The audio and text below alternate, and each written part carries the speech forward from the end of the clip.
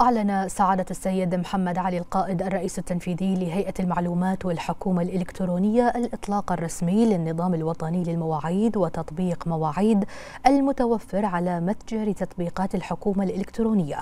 ويعد التطبيق أحد الأفكار الفائزة بمسابقة الابتكار الحكومي فكرة في نسختها الثانية ويمثل منصة وطنية موحدة ومركزية لحجز المواعيد لمراكز الخدمة الحكومية للخدمات التي تتطلب الحكومة الحضور الشخصي وبين الرئيس التنفيذي بأن نظام وتطبيق مواعيد يأتي في إطار توجيهات الحكومة برئاسة سمو ولي العهد رئيس مجلس الوزراء وتنفيذا لأولويات برنامج الحكومة 2023-2026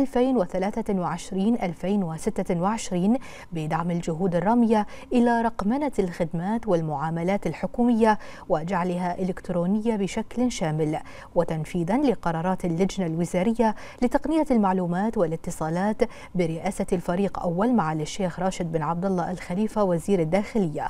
وأضاف القائد أن النظام عملت على تنفيذه وزارة الداخلية وهيئة المعلومات والحكومة الإلكترونية. وقد تم إطلاقه بصورة تجريبية خلال شهر نوفمبر من العام الماضي.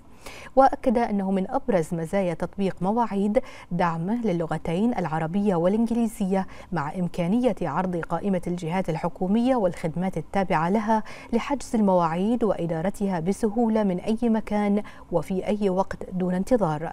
وفيما يتعلق بالإحصائيات المسجلة لدى الهيئة بشأن أداء تطبيق مواعيد منذ إطلاق النسخة التجريبية منه. فقد بين القائد بأن عدد مرات تحميل التطبيق قد بلغت 9000 679 مرة.